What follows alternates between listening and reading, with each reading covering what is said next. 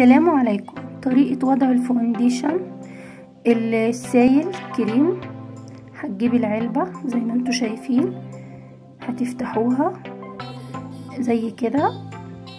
وهتجيبوا قلم وهتتكوا عليها كده عشان تطلع الكريم. ده الكريم ال foundation. هتجيبوا فرشة هتبلوها وهتعصروها. وهتحطوا كده على إيدكم ولا على بشرتكم. مبيطلعش ضد المية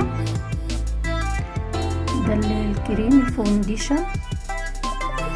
حاجة تانية بقى تيجي تركبوا ضوافر صناعية في الجهاز زي القلم كده بيقطع الضوافر.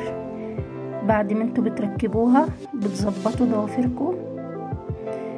الجهاز ده حلو جدا ممكن تعملوا جميع الأشكال. لو عجبكم الفيديو متنسوش تدعموني بلايك وبشير. وتفعلوا زر الجرس عشان يوصلكم مني كل جديد. السلام عليكم.